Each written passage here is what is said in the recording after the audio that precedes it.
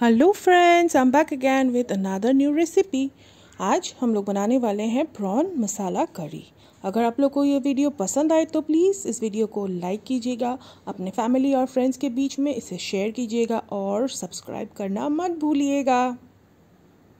यहाँ पे मैंने ले लिया है आधा के जी प्रॉन हाफ़ के जी प्रॉन मसालों में है रेड चिली पाउडर ज़ीरा पाउडर चिकन मसाला हरी वाली इलायची, कसूरी मेथी और तेज पत्ता।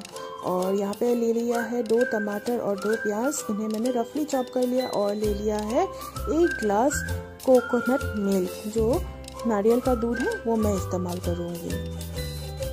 तो हम लोग इस्तेमाल करेंगे सरसों का तेल।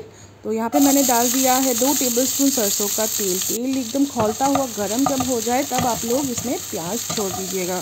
तो प्याज को हमें बस ट्रांसपेरेंट कलर जब तक आ जाए, तब लोग इसे भूनना है। और फिर डाल देंगे जो तेज पत्ता है वो बीच में से कट करके डाल दिया इलायची भी मैंने तीन चार लेके बीच में से कट करके डाल दिया है। और फिर चला जाएगा इसमें एक tablespoon ginger garlic paste और टमाटर। तो ये सारे मसाले हमें तब तक भूनना है जब तक हमारा टमाटर अच्छे से गल ना जाए। और आप लोग देखिए, ताकि ये कढ़ाई में भी ना लगे तो एकदम हल्के आँच में ही इसे फ्राई कीजिएगा।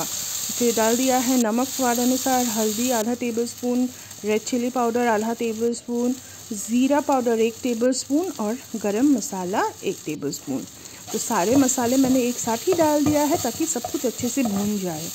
तो अभी डाल दूँगी दो टेबल स्पून जैसा पानी ताकि हमारा जो मसाला है वो कढ़ाई में ना लगे और भूने भी अच्छे से। तो पानी डाल के भी मैंने अच्छे से भून लिया है। तो अभी जाएगा इसमें हमारा प्रॉन और प्रॉन को भी इसे मसाले के साथ हमें दो तीन मिनट के लिए अच्छे से भून लेना है। और बस दो तीन मिनट बाद देखिए, अच्छे से प्रॉन भी भून चुका है, मसाला भी भून चुका है।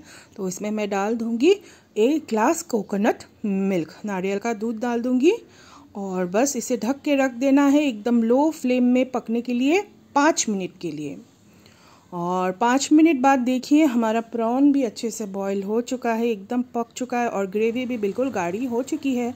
तो ऊपर से हमें डाल देना है कसूरी मेथी और ये बिल्कुल रेडी है। तो आइए इसे सर्व कर लेते हैं।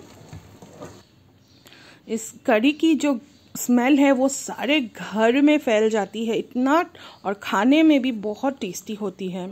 आप लोग इसे चावल के साथ, रोटी के साथ या ब्रेड के साथ, किसी के साथ भी खा सकते हैं। तो ये वीडियो यहीं पे एंड करती हूँ। अब तक के लिए bye see you next time